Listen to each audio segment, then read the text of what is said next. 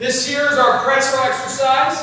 Okay, so we're going to have the athlete take the top leg, come over in a bent position, grabbing on the opposite leg, and then pushing this shoulder down, keeping the head in line with the spine.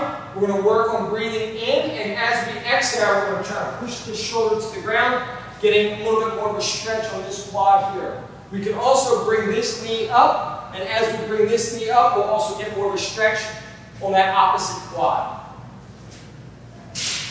We're going to look to hold this position for about 45 to 60 seconds before alternating to the other side. Switch out.